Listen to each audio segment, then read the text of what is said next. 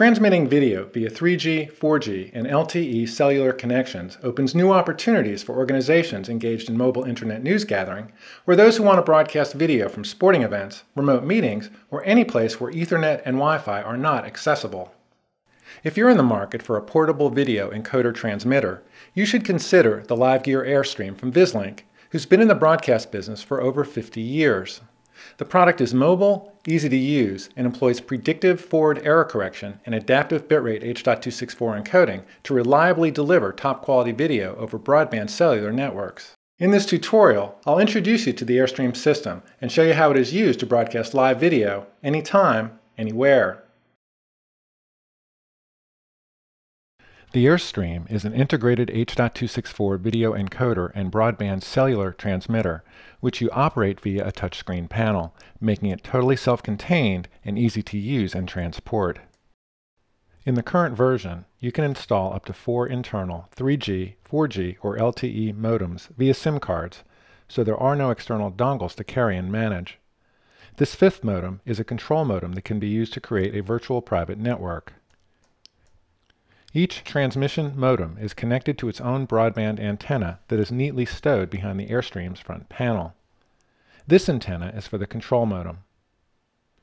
You can mix and match SIM cards from different cellular providers to ensure that you get a reliable signal, and the unit will bond all modem connections together, delivering the maximum bandwidth possible.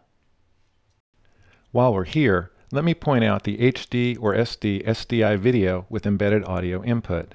A separate analog audio input is also available here. On the left are an Ethernet port and an SD memory card for local storage that will be available for use with version 1.03. On the back is room for two industry standard IDX lithium-ion batteries which deliver up to 6 hours of broadcasting. They're hot swappable, so if you need extra time without disrupting your transmission, just bring extra batteries.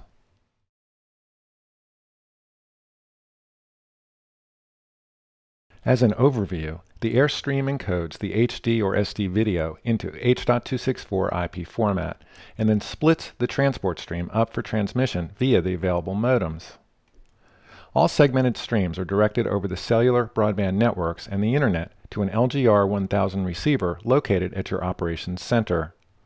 The LGR 1000 aggregates by reassembling the four segmented streams into a single coherent IP video stream, which is decoded to an SDI signal that you can plug into your existing video processing infrastructure. At your option, you can purchase the VMS 1100 Video Media Server to transcode the IP transport stream from the LGR 1000 for delivery to desktops, smartphones, and tablets. If you're interested in a smaller, more portable product, note the camera-mounted LiveGear AirCam unit, which supports up to five cellular connections in a much smaller form factor.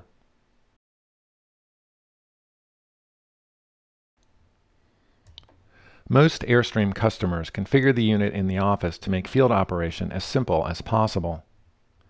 You can configure the Airstream using the touchscreen or by connecting to the unit from a separate computer on the same network, which shows the same basic controls. I'll demonstrate using a separate computer because the video is easier to capture. If you haven't done so already, configure the cellular modem SIM cards that you've installed. To connect to a remote Airstream unit from behind your office firewall, you can set up a virtual private network, which is managed via the internal control modem. You should also configure these settings for the LGR receiver.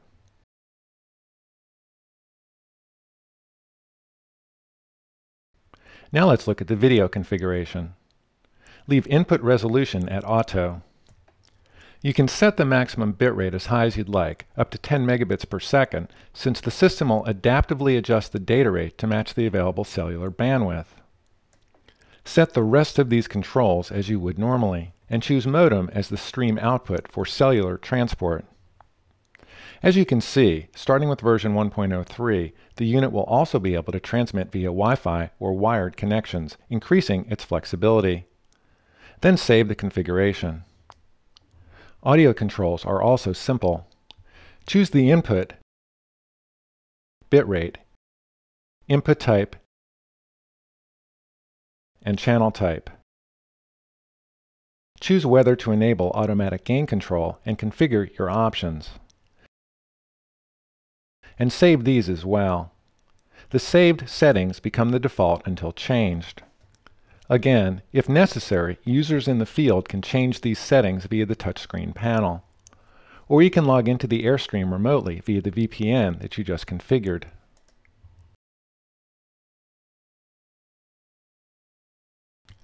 In the field, the user sets the unit down, connects the antenna,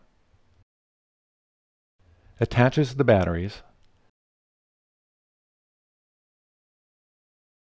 connects the camera, and turns the unit on, which takes about two minutes for booting and to optimize the cellular links. Finally, check cellular status. There is no start button. The Airstream will start transmitting as soon as it sees an incoming video signal, which you can see by clicking over to the preview window. Again, the Airstream encodes the signal into an H.264 format using adaptive bitrate processing to match the available cellular throughput. Predictive forward error correction helps ensure video quality and continuity if your broadband cellular service hiccups. The multiple segmented signals are sent to the LGR 1000, which in turn aggregates and reassembles the IP packets for decoding into an SDI signal, or to pass to the VMS 1000 video media server for H.264 streaming from your website for delivery to desktops, smartphones, and tablets. So that's it. The Airstream is compact, easy to use, and can run for as long as you have batteries to swap in. It can support up to four broadband 3G, 4G, or LTE modems to supply satellite quality video at a fraction of the cost. It's live video anytime, anywhere, from Vislink.